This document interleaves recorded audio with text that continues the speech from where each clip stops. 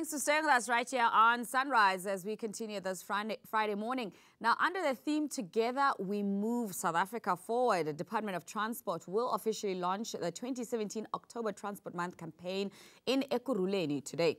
Now, the campaign showcases transport infrastructure services and the department's flagship programs.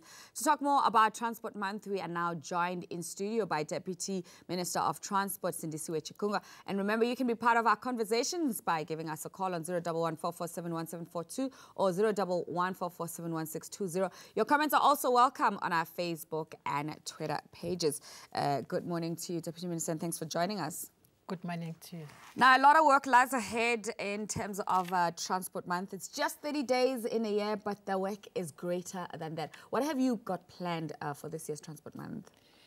Maybe one unique thing about the launch today is that yesterday we celebrated the International Maritime Day in uh, St. John uh, uh, in the Eastern Cape yesterday. Mm. And we're joining other member states of IMO in the celebration of what is happening. And the theme was connecting people, ships, and, and ports. And we were part of that as yesterday. And today we will then be launching our transport, uh, uh, uh, October Transport Month. Mm. And this is the 12th year since we started celebrating and showcasing our infrastructure and the services that we offer as the Department of Transport. When we speak transport, we speak about all modes of transport, whether you speak aviation, maritime, rail, road, public transport, and of course we say road safety as well, even if it is part of road transport. Mm. We will be looking into that. We'll be saying what, are the, what is the infrastructure that is there, which needs to be celebrated, launched, bridges, roads, uh, whether you speak OR Tambo, the OR Tambo International Airport, whether you speak whatever in the maritime, which I'm not going to mention because it's going to be launched by the president, mm. whether we're creating jobs, whether we're producing skills that are necessary in the transport sector. This this will be showcased during this, this, this month. Mm.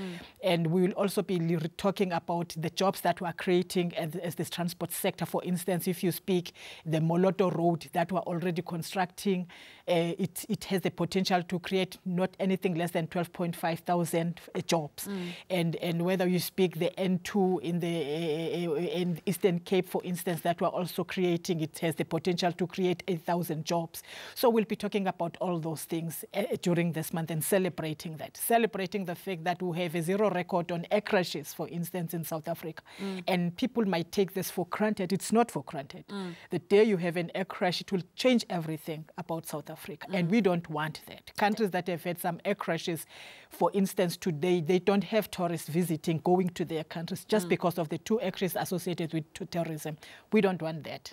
So let's uh, let's talk about the bigger theme. Uh, you know, together we move um, South Africa forward. You've already touched on some of uh, the programs, achievements, and highlights. But uh, you know, once we start talking uh, transport for the general public, issues of safety, and it's good that you, you spoke about the, the aircraft situation. But when it comes to uh, accidents on the road, you know, challenges around school transport, issues around trucks, you know, during the day versus overnight, that always becomes a talking point. We're losing a lot of lives as South, as South Africa, and road safety is one one of the key uh, drivers of your conversations throughout the month. That is very true, but maybe to mention the fact that when we speak trans, I mean transport, we have non-motorized transport, for instance, and motorized transport. Mm. Whether you're walking, for us, that's mode of transport, mm. and therefore walking is a mode of transport. Mm. And we want to ensure that you are safe as you walk as, as, a pedestrian. You are safe as you use motorized transport. We are safe as you as you are cycling. You are safe as you are on your motorbike. You are safe as you are on your animal cart, for instance. We have got to ensure that.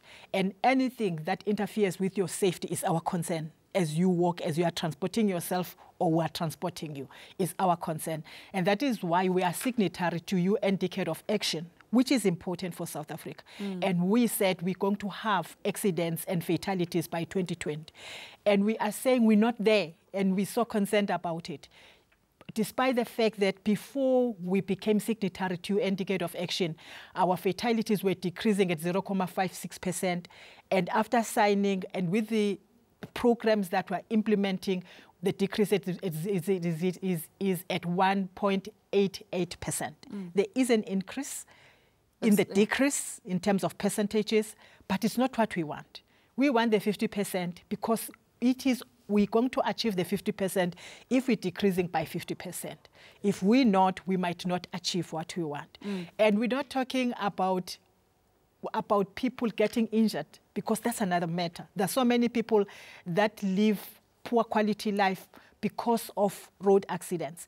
However, we are saying at least there is a little bit of decrease. And together, working with South Africans, taking all the measures that you've referred to, ensuring that people are careful, because all that we need is a driver who is conscientious, mm. a driver who says, I'm now in the car. This car, which I like so much, which I bought, which I'm paying money for, mm.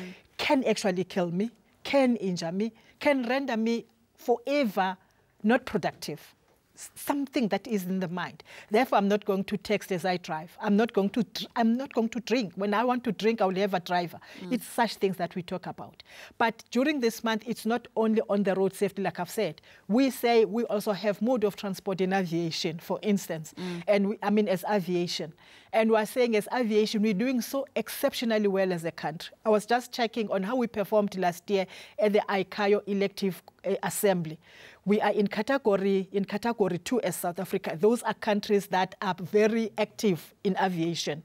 Category one are countries that are active in aviation, but also they make aircrafts. Mm-hmm. We're not making aircrafts in our commercial aviation as South Africa, and that is why we're in category three. But we received, we were the third country to receive highest votes in category in category two with 12 countries. Mm. And that excites South Africa because you have your developed world and developed countries that we're contesting with. To receive, to be number three in terms of the number of votes that you receive, it's good for South Africa and it's good for us. It says we are making our mark.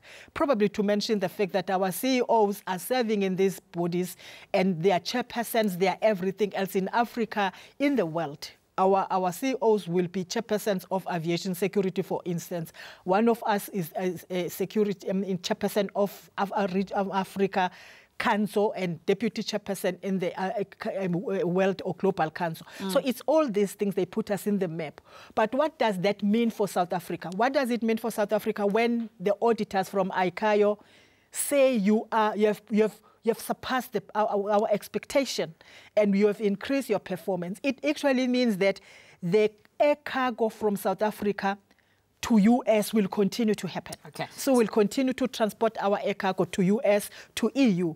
If we had failed that ICAO audit just this year, we would not today be transporting our our our, our cargo through the aircraft. There's a big uh, launch of the uh, program for the whole month today. Just uh, take us through what uh, the program uh, will entail.